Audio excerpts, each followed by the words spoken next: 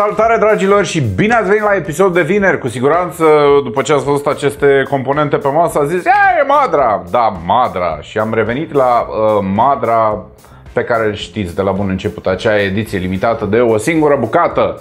Uh, foarte mulți dintre voi ați uh, mirosit așa izul de Madra din live-ul de, de marți. Ei, n-aveam cum să nu facem Madra, având în vedere că Na, carcasele noastre, Alfa Gheru. Păi da, da, Păi da, da, dar vreți să vă zic ceva că pe asta am luat-o pe ultima de pe stoc, 1660 superul ăsta. La 2060 mi s-a spus n-ai voie. Păi de ce? Păi sunt două bucăți și sunt precomandă. Bine, au fost niște discuții și mi s-a spus din mai multe puncte de vedere, aici se poate, aici se poate, aici nu se poate, aici se poate, aici nu se poate și așa mai departe. Și am înțeles și e de înțeles, având în vedere situația uh, actuală a componentelor uh, dedicate sistemelor de gaming. Nu mai fac nicio predicție, nu mai premuniție. Eu am în capul meu pe unde cred eu că o să se întâmple și alte de genul ăsta. Să revenim la Madra. Madra hashtag 16. Uh, spuneam de Alpha Gear, cele, două, cele trei modele ale noastre, Sentinelul, uh, Archon și Oathkeeper. Uh, am zis că, băi, despre Archon și Oathkeeper ați văzut deja review-uri postate pe uh, WASD, pe Lab 501, uh, pe zona, dar pe uh, site, nu pe uh, canalul de YouTube. Hai să facem un sistem în Sentinel. De ce nu? Pentru asta și pentru că cineva întreba de o carcasă de până în 300 de lei în mailbox. Și am spus Sentinelul e o opțiune bună. De ce? Pentru că o să vedeți imediat de ce. O să vedeți imediat. O să urmeze și, uh, și celelalte, dar nu așa uh, săptămâna viitoare uh, Madra 17 în Archen și peste două săptămâni Madra 18 în Outkeeper. Nu, pentru că e vorba de disponibilitatea plăcilor video și aici eu chiar am o problemă. Am o problemă mare de tot pentru că nu prea mă descurc. Aia este. Aia e. Nu, nu se găsesc. Iar, sincer, nu aș vrea să fac un sistem ce să ajungă la 9999 de lei și el să fie la interior cu 1660 Super sau cu RTX 2060. Nu-mi doresc lucrul ăsta sub nicio formă. Caut uh, modele care sunt ok ca și preț și ca și performanță dacă poți să spui așa ceva la ora actuală. Bun, Madra 16 are în componența sa mai multe componente. Bun, avem o placă de bază de la Uh, de la ASRock B560 Pro 4 pe care urmează să montăm acest frumos și minunat procesor care se cheamă el Intel Core i5 11600K.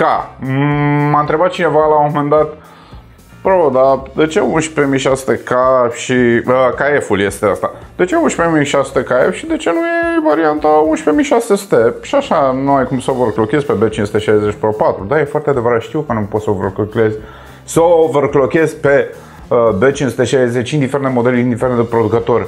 Dar pe mine mă interesează frecvența aia în plus herție, megaherție aia în plus la frecvența de bază atunci când facem uh, comparație între 11600 KF și 11600. Punct. Nu mă interesează nimic altceva. Bun. În afară de procesor, avem un kit de memorie pe care l-am găsit pe desigilate și o să diferențe de preț. De aici vine și prețul final al Madra 16 mult mai mic față de un wishlist. Luați frumos componentele astea și adăugați-le în wishlist pe măsură ce vorbesc eu. E vorba de 16 GB uh, de R4 la 3200 de la Crucial de la uh, seria Ballistics.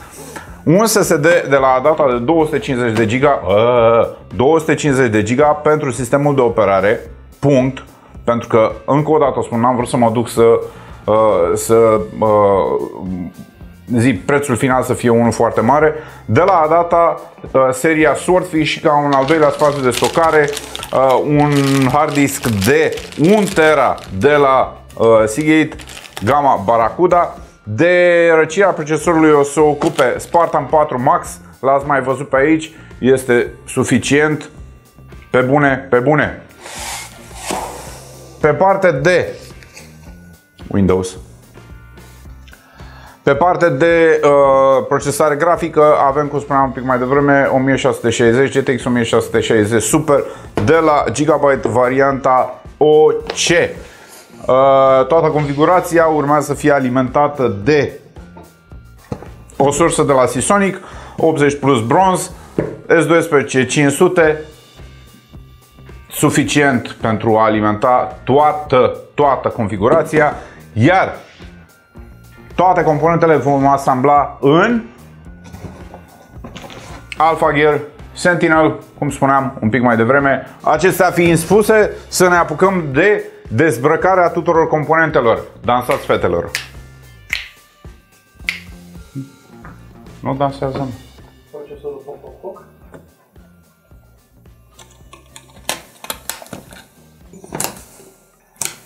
Să punem SS SSD-ul.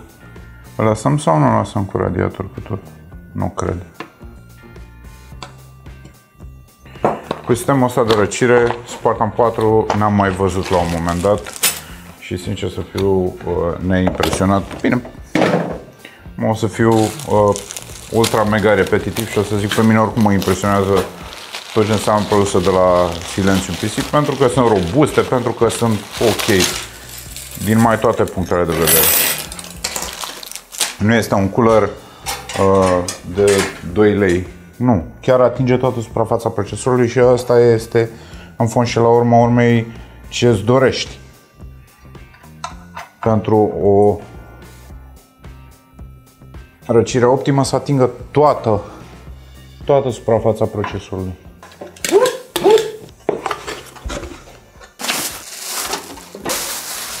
Ce avem noi aici? Avem o alimentare pe care nu putem să o scoatem. Aș fi vrut să o scot. Avem butonul de reset pe care o să-l scoatem pentru a aranja frumos toate cablurile și da, ceva, dar trebuie să ne aranjăm cablurile.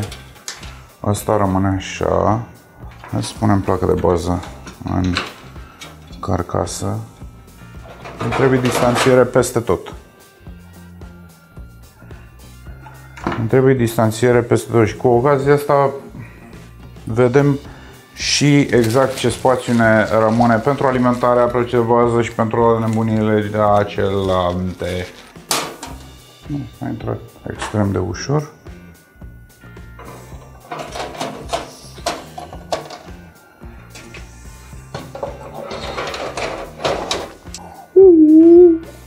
Primul meu cablu pe care Primul cablu, nu că nu e al meu, primul cablu pe care vreau să-l montez e șpânc. E pentru alimentarea procesorului. Și e de la spart în două și mă enervează. Pentru că trebuie să am niște poziții extrem de idiote ca să pot să-l montez, mai ales cu cârnatele astea ale mele. Cârnați. Cârnați. Singurul lucru care nu-mi place la acest model al nostru și sper să se regleze din următoarele iterații, reiterații, următoarele versiuni, sunt cablurile de la ventilatoare. Culoarea. Culoarea, culoarea, atât, atât. Ăsta e singurul lucru care mă deranjează. În rest, n-am, nu... Culoarea, adică putea să fie negru, vă rog. E posibil să-l faceți negru, vă rog. Se pare că și placa de captură ne-a jucat niște feste, că a, noastră, a noastră cameră din față a înregistrat cam tot, dar camera din tavan e on, numai că softul a arătat că a înregistrat 47 de minute, dar tot conținutul nu există pe nicăieri pe hard disk sau pe SSD-uri.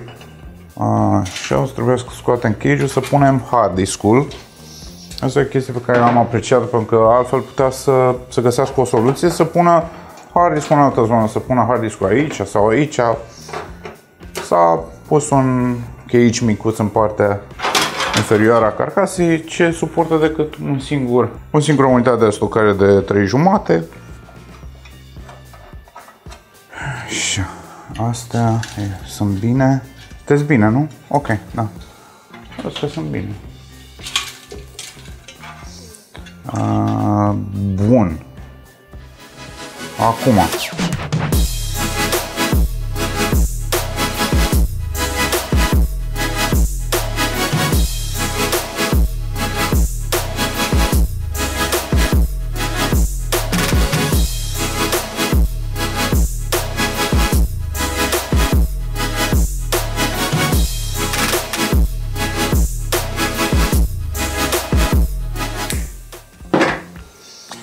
Bun.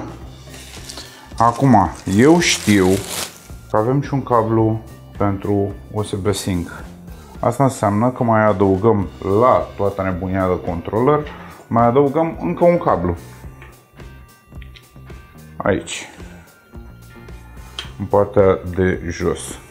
Astfel încât toată iluminarea din carcasă și de la celelalte componente să o sincronizăm frumos cu iluminarea ventilatoarelor. Ideea este reușesc eu să prind asta aici. Aici moare asta. Nu mai am nicio scăpare. Și cred că pe asta, acum o să-l pun, um, o să-l pun la restart, nu o să-l mai las pentru switch-ul de, de iluminare. Acum o să o sincronizăm tot cu softul plăcii de bază, adică cu policromul sau holicrom, policrom, poli... Cum zice mă la asta, la soft? Policrom, nu?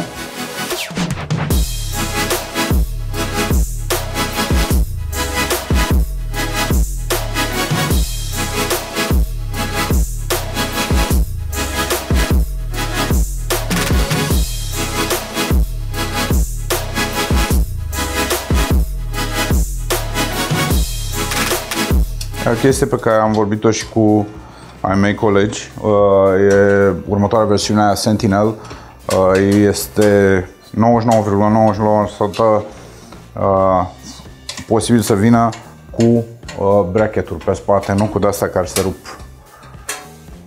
E o chestie pe care, e un lucru pe care l-au zis toți cei care s-au uitat la uh, carcase în spețul la Sentinel, au zis nu puteți face ceva cu lucrul acesta, să găsiți o soluție Că eu știu, poate vreau să... Și ar fi mai interesant dacă ar fi cu posibilitatea să le prinzi cu șurubul. Da, ok, am transmis. E posibil, foarte posibil ca următoarea tranșă de Sentinel să vină cu removable tablițe. Nu? Frumos, zice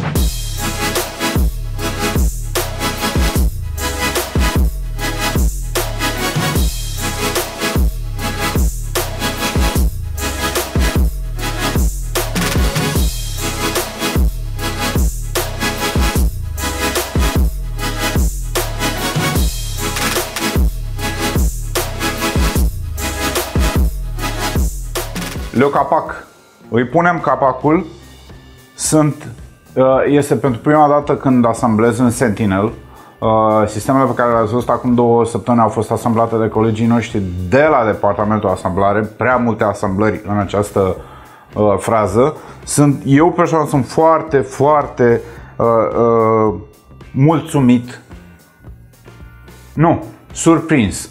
Mulțumit mai am că există acea problemă cu distanțierele ce sunt în lipsă în cazul în care ai un ATX ce acoperă toate, toate șururile, mai ai nevoie de încă 3 whatever. Nu asta e problema. Problema, din punctul meu de vedere, este legată de uh, cage. Hard disk-ul este prea jos, prea jos, eu l-aș fi dus un pic mai sus.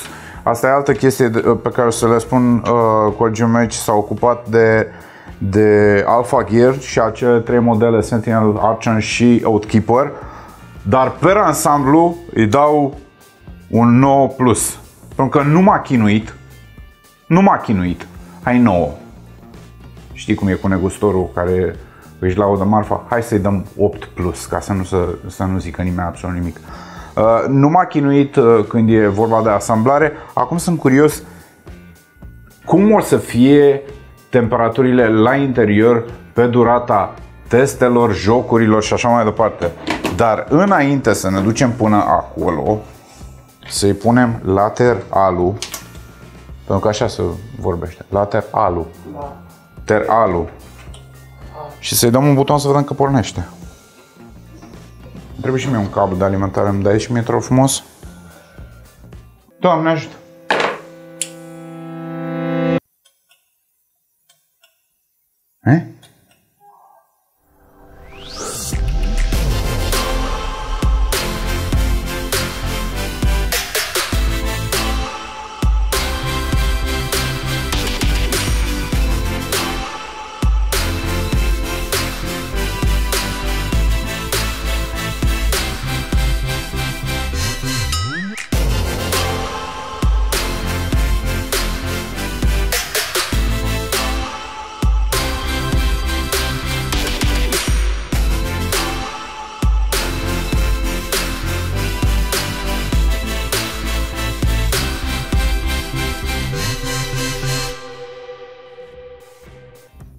Știi, până ajunge curent, până când manivelă, până când... Haolo.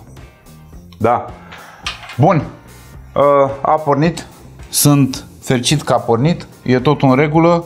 Nu este niciun LED de eroare care să rămână aprins. Dacă vrei controlul la o, iluminării ventilatorului, poți să folosești telecomanda. În cazul care nu vrei să folosești softul producătorului Astro Polychrome, că așa îi zice firara al naibii să fie, Hai să dăm cu verde, că roșu ăsta cam îmi scoate ochii. Uh, o să-i dăm teste, evident, așa cum v-am obișnuit la orice sistem pe care noi l-am, l-am asamblat, în speță la Madra, 3 de marcurile, bench uh, Fortnite, Apex, Call of Duty Modern Warfare și în ultimul rând Red Dead Redemption 2 și GTA 5 pentru că sunt destul de solicitante. Și mai am eu încă un titlu. Mai am? Am. Hai să înceapă testele.